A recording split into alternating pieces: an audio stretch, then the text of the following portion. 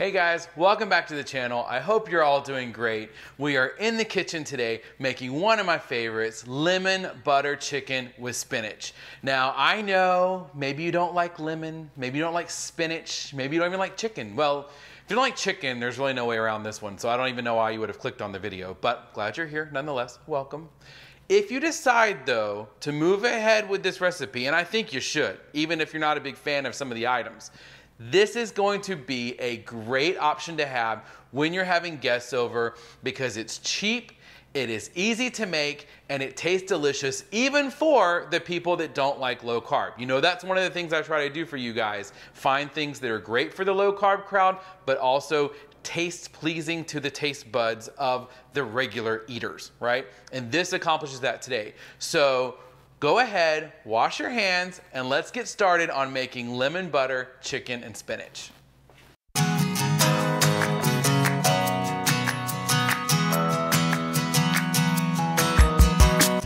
Time to meet the cast of characters for the lemon butter chicken with spinach. Obviously, we've got chicken. Now we've got bone in, skin on chicken thighs. That's what we're gonna be using for this recipe. It's got that good healthy fats, dark meat, gonna taste delicious. For our seasonings and our accoutrement, we have smoked paprika, one tablespoon, salt and pepper for the chicken in a minute. You'll see what we do with that. Three tablespoons of butter, three cloves of garlic, minced, half a cup of heavy cream, one cup of chicken broth. We've got one lemon that we're gonna juice. We've got a quarter cup freshly grated Parmesan, and one teaspoon of thyme. Also, fresh from the garden, we've got spinach. So that's all you need. All you need to make this amazing dish, which is what we're gonna do now. I'm gonna move over to the stove top and I will see you guys over there. Before you even get started, the first thing you wanna do is preheat your oven to 400 degrees. Second, you wanna set your burner to medium high. And what we're gonna do is melt our butter first. Now, if you haven't seen my previous video on cast iron, you should really check it out. Today, we're gonna be using the enameled cast iron, the Dutch oven specifically. I love this because, as I said in the video, you can just throw these in the dishwasher. You don't have to worry about washing them by hand, cleaning them like you do the high maintenance of the regular cast iron. These are really, really great. There's enamel on the outside and they're coated on the inside as well. So we're gonna put this on a medium high heat and we are going to take our three tablespoons of butter and let that start melting. Now, while we let this melt, we want to keep an eye on it because you don't want it to burn.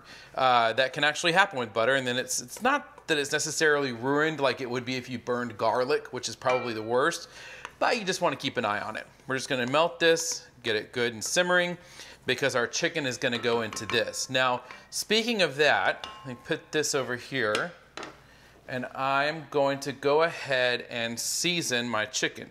Now, this is very dangerous. This is the first time I'm doing this, and I probably shouldn't do it on camera, but ah, miracle of miracles. So, we're going to take our paprika, and we are just going to season the skin of the chicken thighs. This is not anything difficult or crazy. It is literally what it looks like. We're just seasoning the outside. And if you have a little left over, that's fine. Um, you don't have to go paprika crazy. And if you don't have any paprika, you can substitute chili powder. That works okay. We are going to also add salt and pepper just to your liking. I just like to give a little sprinkling to each piece of chicken to let it know it's important. There we go. And our fresh ground pepper.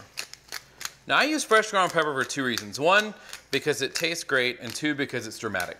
But clearly, you can use regular ground pepper from the container if that's all you've got. Not a problem at all.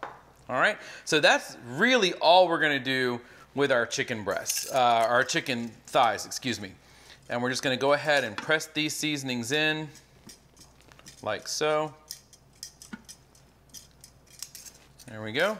And then we are going to check on our butter. Move this out of the way. It sounds like it's coming along. And it is. Luckily it hasn't burned yet, so we're just gonna give this a good little stir. It's looking really good.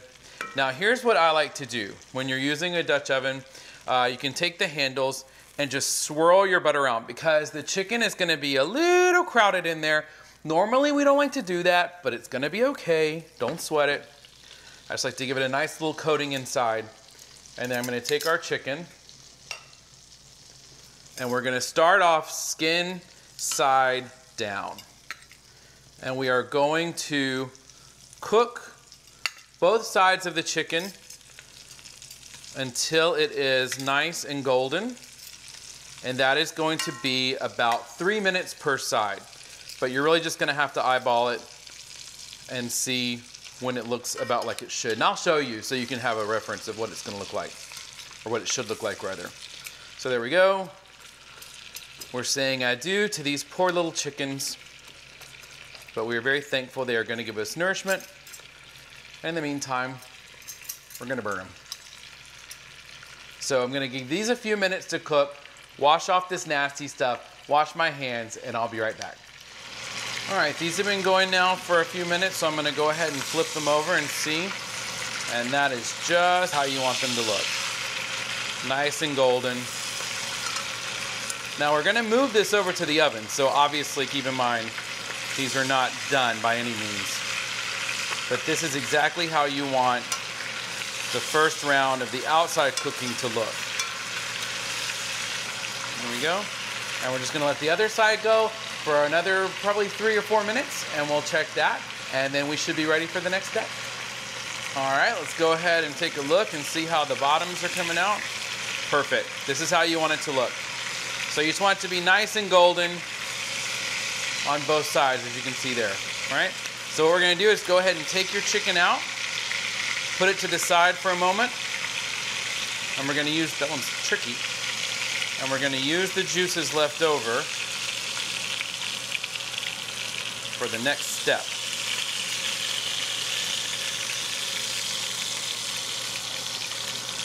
You'll have to excuse the sound of the vent. It's got a little smoky.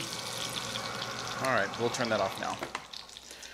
All right, so we've got our chicken set aside. We've still got our burner on. I'm gonna put mine down to about a five medium or so. Uh, and I'm gonna take first my chicken broth, give that a little bit of stir. We're gonna pour this in.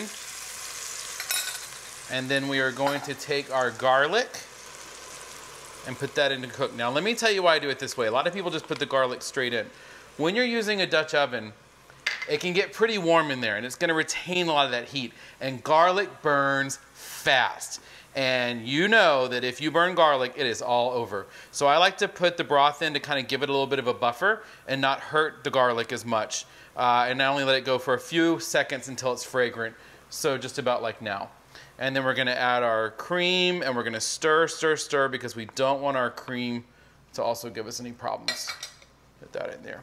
There we go. That cools it down quite a bit. So we're gonna let this mix for a bit and we're gonna return this to a boil. Uh, and what we're gonna do in the meantime is we're gonna add our lemon. So I've got our, and that's gonna come to a boil pretty quickly, so you have to kind of work fast. Put in the lemon juice here. I know that was a very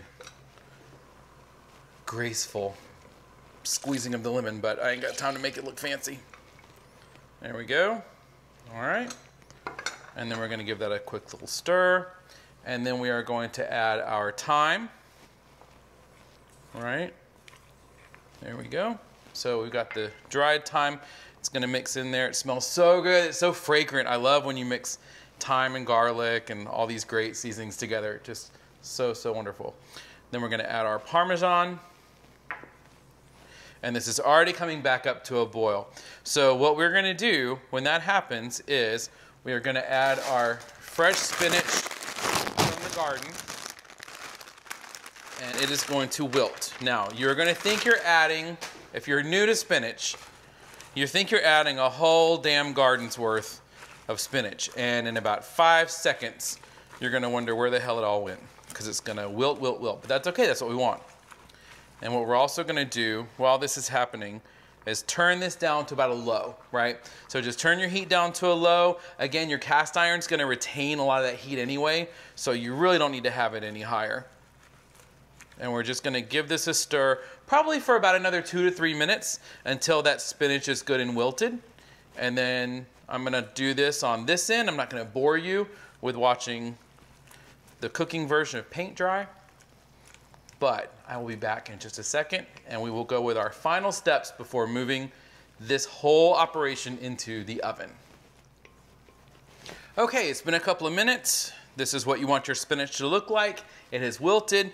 Now, I added a bag. I should have said this earlier. This was about two cups. Um, that's what I've discovered. If you buy a bag from the grocery store of the spinach or the baby spinach, spinach works better on this, I would say, than the baby spinach. It just wilts down to almost nothing. Um, but a bag should be plenty for the serving amounts that we're using. So we're gonna put our spoon aside and we're gonna return our chicken back to the pot, nestle it in. I put it in skin side up because it looks prettier. There we go. You can't really mess that up though. We're gonna make one more room, or make room for one more rather. There we go. And then I wanna just take some of this spinach from the bottom and layer over the chicken, just a little bit of it, just to get everything nice and mixed together, like so. Now, the oven that is going at 400 is where this is headed. We're gonna go ahead and turn our burner off and we're gonna take the entire pot or skillet if you're using a skillet, just make sure it's oven safe, and we're gonna transfer this over to the oven. It's gonna cook in the oven for 25 to 30 minutes. But what I do, and you guys know if you've seen my videos before, Always use a thermometer so that you know when your chicken comes up to the right temperature. Preferably you want to use one that you can have in the oven while the dish is cooking. That way you can monitor it from the outside. You don't have to keep opening the oven, opening the oven, letting all that heat out, right? So we're going to move this to the oven, let it cook for 25 to 30 minutes, and then we're going to finish up on the back end.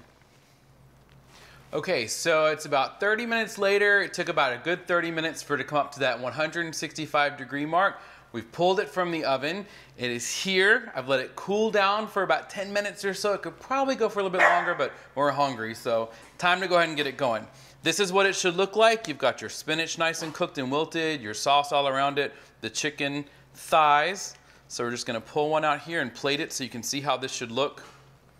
We're gonna put a chicken thigh here. Now we're using oversized plates that are way bigger than the chicken breast so that we can simulate that fancy restaurant look where it's just like a small piece of meat and the fancy sauce drizzled all over and it's like $80. That's what we're replicating today for not quite that much money. So see, we just put the sauce all dramatically like, like that. And then clean this up as we plate it. And then you want to get a nice bit of the spinach, but it really, like I said, combines so nicely. It makes a very buttery flavor with just a hint of the lemon. And you've got your spinach on the side and voila. And in addition to this, you could also pair this with another side. So if you want to have some broccoli uh, or some green beans, something like that, uh, or just have it on its own with a chicken thigh and the spinach would be a nice light dinner, uh, but very filling and satisfying. So I hope you liked this video. I hope you found some use out of it and that you'll try this at your next uh, party or family dinner. If you've enjoyed the video, I'd definitely appreciate a like. If you prefer to see more of these and you want to know when I put new videos out, please subscribe and click the bell. But in the meantime, stay safe out there and I'll see you in the next video.